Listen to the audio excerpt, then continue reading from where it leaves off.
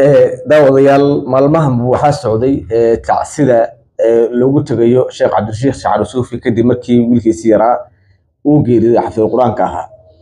Ismaaciil haniya oo ka mid ah hogaamiyaasha ururka xamaas ee dalka falastiin ayaa maanta ugu tegay booqasho hoyga uu qadar uu ka degan yahay sheekh cabdirashiikh cali suufi haddaba maxay tahay sababta keentay in ismaaciil haniye ah oo ah hogaamiyaha maamulka amaba dowladda xamaas in uu booqasho ugu tago sheekh cabdirashiikh cali suufi. Aqoon hormay isku lahaayeen waan ka hadli doonaa sidoo kalena halkan waxaan taxsi mar kale uga direynaa geerida ku timid wiilka u dhalay sheekh cabdirashiikh cali suufi. Waxaan leenahay ina lillahi wa ina ilayhi raajicuun. Insha allah ilahay bedel khayr qaba ha kugu bedelo janat firdows insha allah ilahay wiilka ha geeyo haddii intaasaan kaga soo laabano ilaahay hadda waxaa soconayo tacsida loogu tegayo sheekh cabdirashiikh cali suufi ismaaciil haniya oo ka mid ah hogaamiyaasha ururka xamaas uuna sarreeyo yaa booqday isla markaasna baraha bulshada waxaad arkayseen muuqaal ay ku wada jiraan.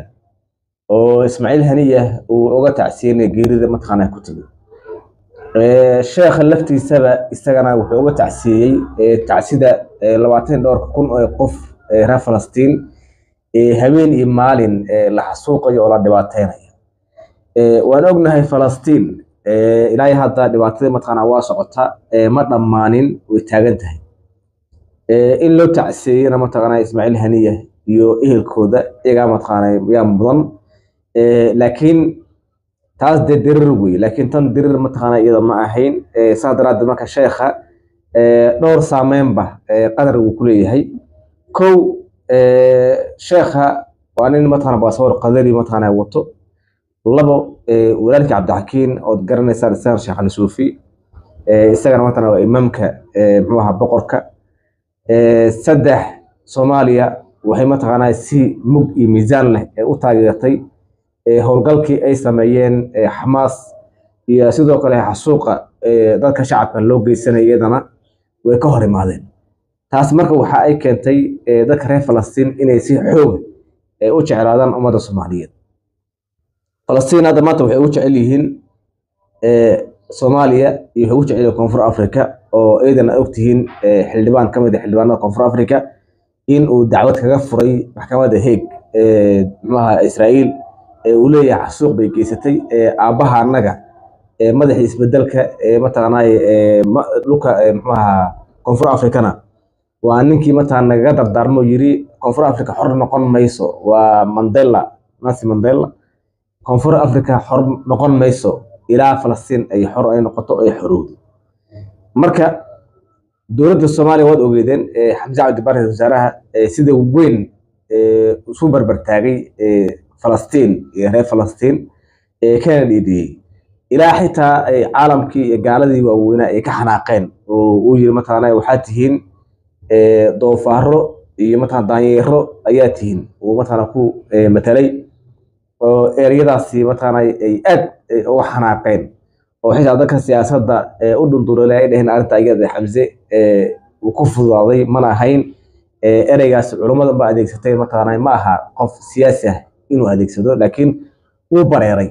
Oo xitaa maanta u dambeysay waad arkayseen markii uu ka hadlay barnaamijka waan soo wadnaaye nimankii ahaa oromada.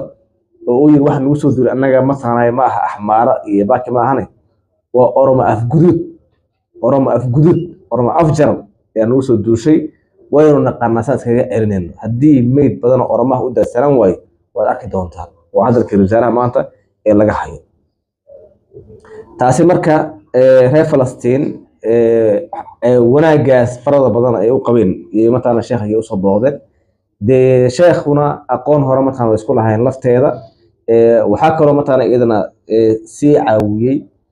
Dee sheekhu nin ahludiin ee wey oo dad badan oo daafaha caalamka ninka daaciga ah ee maraya wey. Ilaa qadar ay u aqoonsatay baasaboorka qadariga ay siisay si uu faafiyo mataqana diinta yaa loo siiyey marka dal iyo dibadba sheekhu mataqana aad baa loogu yaqaanay darajada intaa la egna waxa ku gaaray maanta waxaa weeye waa kitaabkaas qur'aanka wey qof kasta oo kitaabka qur'aanka ka hormaray danihiisa oo shay kastaba mataqaana ka hormariya qur'aanka. Xaqiiqata waxa ay qofka darajo dheer in uu gaarayo oo middan dunida ah ee hadda maanta aan habeenii maalin la korbaysannahay raadinayno wax dhuunta la mariyo halka keliya ku jirta waxaa weeye waa diinta ilaahay oo cizeyso kitaabkaas qur'aanka oo habeenii maalin mataqaana ku dadaasho xifdintiisa ilaalintiisa iyo akhrintiisa iyo ku camalfalkiisa intaa keliya haddii aad samayso ku camalfalka keliya marka ma ahan in mataqaana dowlad islaami ah ugu xukumi oo camalfalka halkaas ku iman ma kitaabka waxa ku qoran adiga kaa khuseeyo kaga camalfal oo adiga marka laakiin in dowlad kugu hagto oo adiga lagu soo cedceliyo xerada ma aha.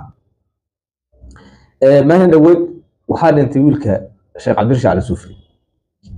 Soomaalidu si weyn bay mataqaana arrintaasi uga hadleen aad bay ugu tacsiyeeyeen waayo geeri waxay noqotay xaqiiqatan aad u saamaysa dadka muslimiinta.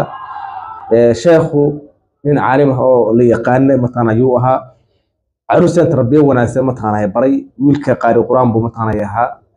Meelo badan baa mataqaana safar ayuu ku tegey.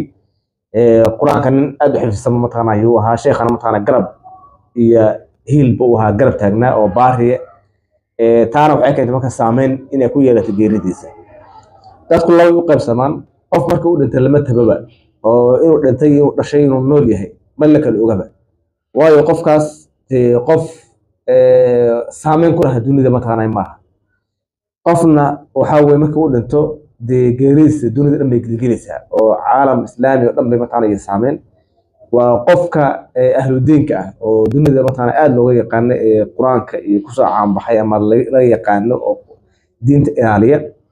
Geeridiisa aad baa mataqaana yaa looga naxa habeenkii wiilka u geeriyooday maalin buu geeriyooday toddoba saac oo maalinimo ay ahayd markuu geeriyoonayay isagoo xanuun dhowr beri sheeganayay markii geeriyooday dadkii u tegay ee soomaalida ee ka tacsiyenay sheekha isagaa mataqaana tacsi yaaba ugu tegay oo yiri aniga waxaan waxay ahayd ammaano ilaahay ii dhiibtay. Ammaanadii iyada hadda mataqaana ilaahay ii dhiibtay hadana dib u qaatay. Wax dhibaatana mataqaana uma arko. Waayo saad ogtihiinba nabi sal slam wuxuu yidhi alcaynu tadmac walqalbu yaxzan walaa naqul ila cala allah wixii alle raalli ka yahay keliye ma mataqaanaan oranayna oo dhehayna waayo waxay arkeen markii wiilkiisii ibraahim uu dhintay oo nabiga wuxuu jira mataqaana quurta in lagu ooyo ma ma banaano. Marka qabrigooda kor jooga waxaa keen nabiga oo ilin aad uga tifqayso. Saxaabadii way la yaabeen waxay dhahan nabi allo maxaa adigii ooyayay saa u jireen markaasuu markuu nabigu dhahayo isha waa ilmayn qalbina waa murugoon. Waa sax. Isha ma xakamayn kartid quratul cayn ba mataqaana yaa lagaa qaaday. Indhaha qabow sugoodo ilmaha mataqaana indhahay ay u yihiin mataqaana qabow u wanaagsan yihiin yaa laga qaaday.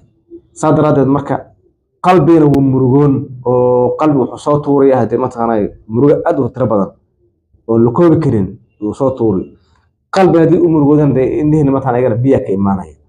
Laakiin oohinta la diidi waxaa midda baroorta qaylida ee qof uu baroorayo cawaadayo taasi midda mataqaana aan la ogolayn marka ismaaciil haniya dadkii u tegey sheekha booqashada ugu tegey asna ayuu ka mid ahaa. Daawadayaal intaasaan barnaamijkan aan ku soo koobaya aan u wada duceyno wiilkaas in ilaahay mataqaanay ka waraabi jiro firdowsa.